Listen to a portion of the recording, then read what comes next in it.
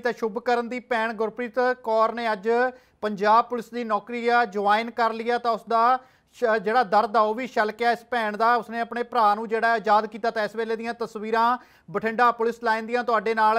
ਸਾਂਝੀਆਂ ਕਰ ਰਹੇ ਹਾਂ ਤਾਂ ਬੀਤੇ ਪੰਜਾਬ ਸਰਕਾਰ ਦੇ ਵੱਲੋਂ ਨਿਯੁਕਤੀ ਪੱਤਰ ਜਿਹੜਾ ਆ, ਇਸ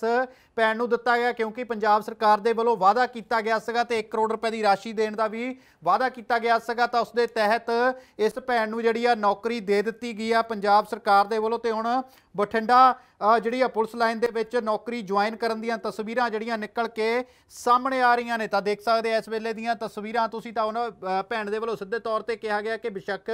ਸਰਕਾਰ ਨੇ ਆਪਣਾ ਵਾਅਦਾ ਜਿਹੜਾ ਹੈ ਉਹ ਪੂਰਾ ਕੀਤਾ ਪਰ ਅਸੀਂ ਕਾਨੂੰਨੀ ਕਾਰਵਾਈ ਦੀ ਵੀ ਨਾਲ ਨਾਲ ਮੰਗ ਕਰਦੇ ਹਾਂ ਕਿ ਕਾਨੂੰਨੀ ਪੈਰਾਵਾਈ ਵੀ ਜਿਹੜੀ ਆ ਉਹ ਹੋਣੀ ਚਾਹੀਦੀ ਹੈ ਕਿ ਭਰਾ ਦੀ ਮੌਤ ਕਿਸ ਤਰ੍ਹਾਂ ਜਾਂ ਕਿਹਨਾਂ ਕਾਰਨਾਂ ਕਰਕੇ ਜਾਂ ਅ, ਕਿਸ ਦੇ ਵੱਲੋਂ ਜਿਹੜੀ ਆ ਉਹ ਗੋਲੀ ਸ਼ੂਟ ਹੋਈ ਸੀਗੀ ਉਹ ਸਾਰੀ ਕਾਰਵਾਈ ਪੁਲਿਸ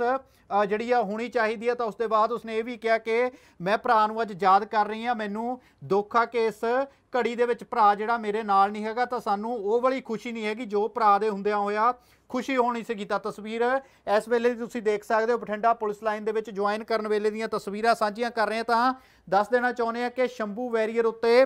ਮੋਰਚਾ ਜਿਹੜਾ ਲੱਗਿਆ ਹੋਇਆ ਲਗਾਤਾਰ ਮ- ਜਿਹੜਾ ਆ ਅੰਦੋਲਨ ਜਿਹੜਾ ਉੱਥੇ ਚੱਲ ਰਿਹਾ ਹੈਗਾ ਤੇ ਇਸ ਤੋਂ ਇਲਾਵਾ ਖਨੌਰੀ ਬਾਰਡਰ ਦੇ ਉੱਤੇ ਸ਼ੁਭਕਰਨ ਸਿੰਘ ਦੀ ਜਿਹੜੀ ਆ ਜਾਨ ਚਲੇ ਗਈ ਸੀ ਗੋਲੀ ਲੱਗਣ ਦੇ ਨਾਲ ਗੋਲੀ ਸਿਰ ਦੇ ਵਿੱਚ ਜਿਹੜੀ ਆ ਲੱਗੀ ਸੀ ਜਿਸ ਦੇ ਬਾਅਦ ਅ, ਸ਼ੁਭਕਰਨ ਦੀ ਜਾਨ ਚਲੇ ਗਈ ਸੀਗੀ ਤਾਂ ਤਸਵੀਰਾਂ ਇਸ ਵੇਲੇ ਦੀਆਂ ਤੁਸੀਂ ਦੇਖ ਸਕਦੇ ਹੋ ਤਾਂ ਉਸ ਦੇ ਬਾਅਦ ਕਿਸਾਨਾਂ ਵੱਲੋਂ ਕਾਫੀ ਜ਼ਿਆਦਾ ਰੋਸ ਪ੍ਰਦ- ਪ੍ਰਦਰਸ਼ਨ ਵੀ ਕੀਤਾ ਗਿਆ ਸੀਗਾ। ਤਾਂ ਪੰਜਾਬ ਸਰਕਾਰ ਨੇ ਮੌਕੇ ਉੱਤੇ ਐਕਸ਼ਨ ਲੈਂਦੇ ਹੋਏ ਸ਼ੁਭ ਕਰਨ ਦੇ ਪਰਿਵਾਰ ਦੇ ਲਈ ਜਿਹੜਾ 1 ਕਰੋੜ ਰੁਪਈਆ ਉਸ ਦੀ ਰਾਸ਼ੀ ਦੇਣ ਦਾ ਐਲਾਨ ਕਰ ਦਿੱਤਾ ਸੀਗਾ ਤੇ ਉਸ ਦੇ ਨਾਲ ਨਾਲ ਸਰਕਾਰੀ ਨੌਕਰੀ ਦੇਣ ਦਾ ਵੀ ਐਲਾਨ ਕੀਤਾ ਸੀਗਾ ਤੇ ਜਿਸ ਵਾਅਦੇ ਨੂੰ ਪੰਜਾਬ ਸਰਕਾਰ ਨੇ ਹੁਣ ਪੂਰਾ ਕੀਤਾ ਤਾਂ ਨਿਯੁਕਤੀ ਪੱਤਰ ਜਿਹੜਾ ਉਹ ਦਿੱਤਾ ਸੀਗਾ ਬੀਤੇ ਸਮੇਂ ਦੇ ਵਿੱਚ ਤੇ ਹੁਣ ਸਰਕਾਰੀ ਨੌਕਰੀ ਜਿਹੜੀ ਹੈ ਇਸ ਦੀ ਭੈਣ ਜਿਹੜੀ ਆ ਅ, ਸ਼ੁਭਕਰਨ ਦੀ ਭੈਣ ਉਹਨਾਂ ਵੱਲੋਂ ਵੱਲੋਂ ਜਿਹੜੀ ਆ ਉਹ ਜੁਆਇਨ ਕਰ ਲਈ ਗਈ ਆ ਤਾਂ ਕੀ ਕਹਿਣਾ ਪਰਿਵਾਰਕ ਮੈਂਬਰਾਂ ਦਾ? ਸੁਣਾਉਂਦੇ ਚੱਲਦੇ ਆ ਹਾਂਜੀ ਅੱਜ ਬੇਟੀ ਨੂੰ ਜਾਣ ਕਰਾਉਣਾ ਹੈ ਡਿਊਟੀ।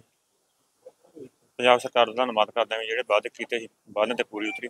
ਪਰ ਇਹ ਵੀ ਪਰਿਵਾਰ ਸਰਕਾਰ ਤੋਂ ਮੰਗ ਕਰਦੇ ਹਾਂ ਵੀ ਸਾਨੂੰ ਇਨਸਾਫ ਦਿੱਤਾ ਜਾਵੇ ਤੇ ਬਣਦੀ ਕਾਰਵਾਈ ਕਰੀ ਜਾਵੇ ਤੇ ਜੋ ਵੀ ਦੋਸ਼ੀ ਹੈ ਪਰਚਾ ਦਰਜ। ਬੇਟੇ ਦਾ ਕੀ ਗੱਲ ਸਾਡਾ ਬੇਟਾ ਖਨੌਰੀ ਬਾਰਡਰ ਤੇ ਸੀ ਧਰਨੇ ਤੇ।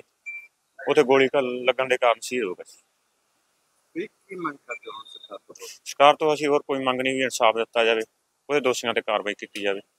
ਚਲੋ ਸਰ। ਸਰਕਾਰ ਨੇ ਸਹਾਇਤਾ ਕਰਤੀ ਚਲੋ ਨੌਕਰੀ ਵੀ ਦੇਤੀ ਪਰ ਉਹ ਘਾਟਾ ਪੂਰਾ ਉਹ ਘਾਟਾ ਪੂਰਾ ਨਹੀਂ ਹੁੰਦਾ ਜੀ ਨੌਕਰੀ ਨਾ ਹੋਵੇ ਨਾ ਸਹਾਇਤਾ ਨਾ ਹੋਵੇ ਅੱਜ ਅਸੀਂ ਪੰਜਾਬ ਸਰ ਮਾਨ ਸਰਕਾਰ ਦਾ ਧੰਨਵਾਦ ਕਰਦੇ ਹਾਂ ਜਿਨ੍ਹਾਂ ਨੇ ਆਪਣੇ ਕੀਤੇ ਵਾਅਦੇ ਪੂਰੇ ਕੀਤੇ ਪਰ ਫਿਰ ਵੀ ਅਸੀਂ ਉਹਨਾਂ ਤੋਂ ਮੰਗ ਕਰਦੇ ਹਾਂ ਕਾਨੂੰਨੀ ਕਾਰਵਾਈ 'ਚ ਸਾਨੂੰ ਇਨਸਾਫ ਮਿਲਣਾ ਚਾਹੀਦਾ